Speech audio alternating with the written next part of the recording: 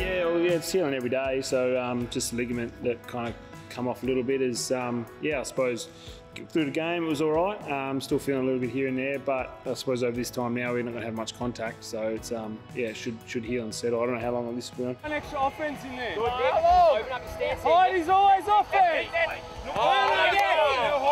ball. Turnover. Yellow ball. This is my guard from 2015 when I did my elbow. Get off at the right time and take that mark. John Davis did very well once again. Oh, looks like Josh Kennedy. Is he on the ground? With he is. So I still had it in my locker because Lecker signed it.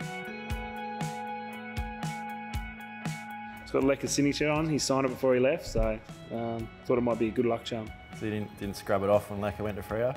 nah, nah, nah. Still got on there.